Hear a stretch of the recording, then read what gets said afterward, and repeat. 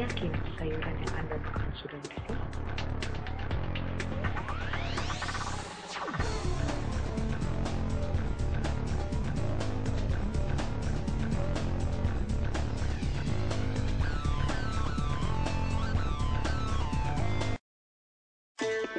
Infeksi soil transmitted helminth adalah penyakit infeksi yang disebabkan oleh spesies cacing nematoda.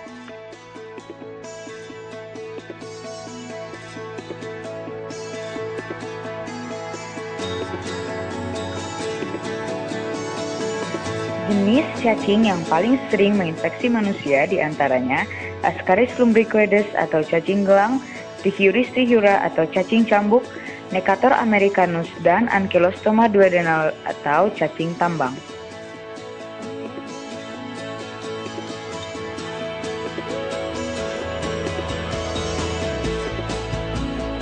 Transmisi infeksi STH ini dapat terjadi melalui kontak langsung kulit dengan larva infeksius. Contohnya, dengan menginjak tanah tanpa alas kaki atau telur cacing yang tertelan.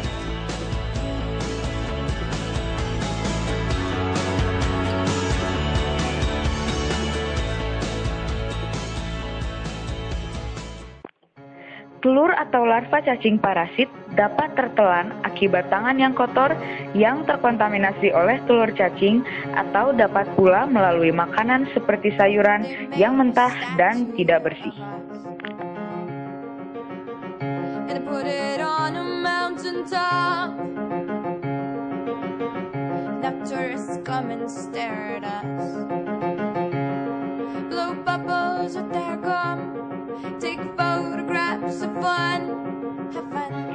Kita tidak tahu apakah sayuran yang kita makan terkontaminasi telur cacing atau tidak.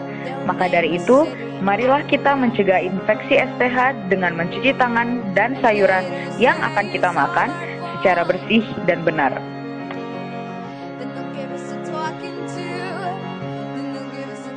Infeksi sel transmitted helminth adalah infeksi yang paling sering terjadi di dunia dan dapat menyebabkan permasalahan kesehatan yang serius.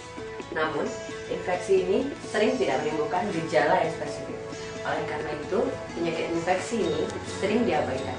Padahal, jika tidak ditangani secara benar, penyakit ini dapat menyebabkan gangguan pencernaan dan penyerapan nutrisi.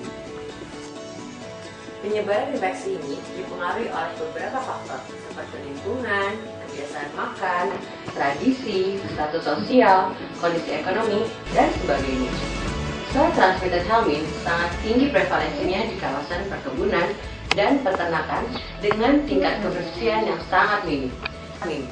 Di mana masih terjadi penggunaan pupuk kandang dengan kotoran hewan ataupun kotoran manusia atau penyiraman tanaman dengan air yang terkontaminasi oleh parasit.